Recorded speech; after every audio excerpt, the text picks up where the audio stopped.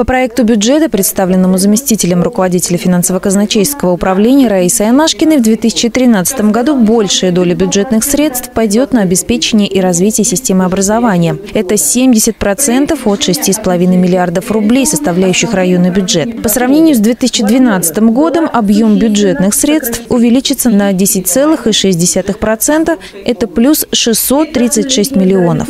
По структуре доходов основная часть бюджетных поступлений – налоги на физических лиц. Также 13,5% составляют доходы по упрощенной системе налогообложения. 350 миллионов рублей поступит от продажи материальных и нематериальных активов, 150 миллионов от сделок с землей. Порядка 60 миллионов рублей поступит по штрафным санкциям. Увеличение бюджетного финансирования в сфере образования в 2013 году обусловлено ростом областных субвенций. Это 143 миллиона. Кроме того, с 1 декабря уровень заработной платы работников дошкольных образовательных учреждений вырастет на 50%. Отдельной строкой идут расходы на обеспечение школ системами безопасности. Затраты на установку видеонаблюдения и постов охраны составят порядка 220 миллионов рублей. Бюджетное финансирование сферы здравоохранения в 2013 году составит более 600 миллионов рублей. На спорт запланированы почти 400 миллионов. По прогнозам финансистов, при исполнении всех статей расходов бюджета 2013 год район может завершить с долгом. Поэтому, как отметила Раиса Анашкина, необходимо привлечение дополнительных источников финансирования.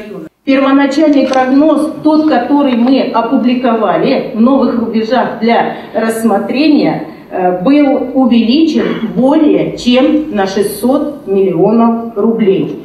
И поэтому первоочередной задачей всех э, администраторов доходов, всех структурных подразделений администрации должна стать задача привлечения дополнительных доходов в бюджет района с целью финансового обеспечения предлагаемых э, к финансированию и принятию в бюджете всех мероприятий, всех программ и так далее. Председатель комиссии Совета депутатов по бюджету и налогам Нина Гинтова озвучила позицию народных избранников, что бюджет необходимо одобрить.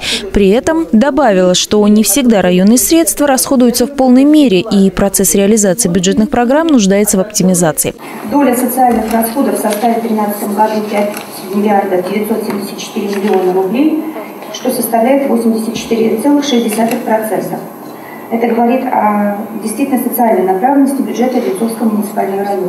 Депутат районного совета Александр Крутиков предложил направить бюджетные средства на дальнейшую информатизацию района, на создание информационного центра госуслуг и обработки данных, а также на обустройство лесопарковых территорий. Депутат Елена Антонова говорила о возможном строительстве в районе детского коррекционно-образовательного центра для детей с проблемами психофизического развития. К обсуждению проекта бюджета района глава Александр Гладышев подключил журналистов. Прозвучали вопросы о здравоохранении, культуре, образовании и возможном создании Воденцова арт-галереи. Итог конструктивного диалога подвел руководитель администрации Алексей Конdoранцев, который отметил, что районные власти открыты для прессы, а значит информацию о преобразованиях в районе всегда можно получить из первых уст.